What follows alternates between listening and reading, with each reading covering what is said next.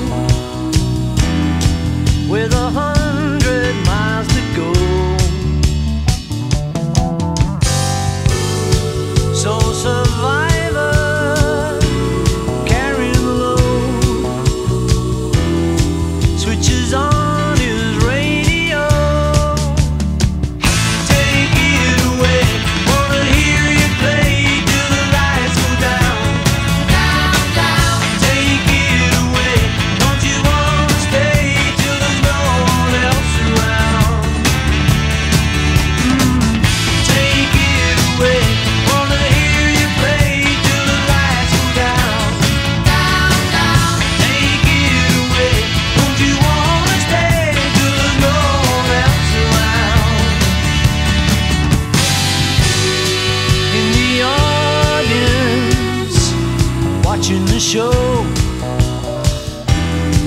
with a paper.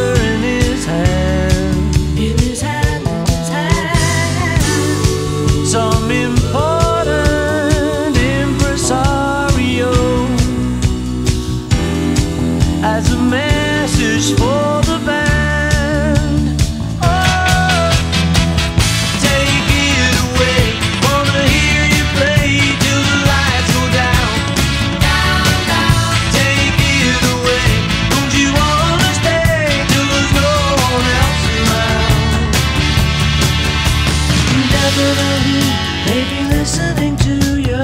Never know, who. maybe listening to you.